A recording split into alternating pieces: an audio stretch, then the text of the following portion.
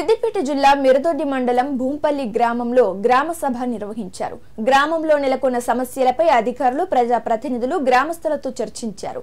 గ్రామస్తుల సహకారం అందిస్తే సమస్యల పరిష్కారానికి కృషి చేస్తామని వారు వెల్లడించారు. గ్రామ అభివృద్ధిలో ప్రతి ఒక్కరూ భాగస్వాములు కావాలని సూచించారు. అనంతరం వ్యవసాయ అధికారులు ఆయిల్ ఫామ్ పంటల సాగుపై గ్రామ సభలో అవగాహన కల్పించారు. మండల వ్యాప్తంగా ఇప్పటికే మూడు వందల ఎకరాల్లో ఆయిల్ ఫామ్ పంటలు సాగు చేయడం జరిగిందని వ్యవసాయ వ్యవసాయ అధికారి మల్లేశం తెలిపారు.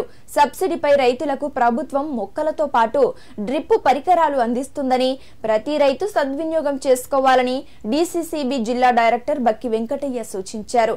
ఆయిల్ ఫామ్ పంట సాగు చేసుకోవాలనుకునే రైతులు వ్యవసాయ విస్తరణ అధికారుల వద్ద వివరాలు నమోదు చేసుకోవాలని కోరారు. రెండు వందల యాభై సార్ కొందరికి ఉండొచ్చు మన నెల నెలకు ఆదాయం వస్తుంది మనం ఎక్కడ అమ్ముకోవాలనేది కూడా కొందరు సందేహం ఉంటుంది.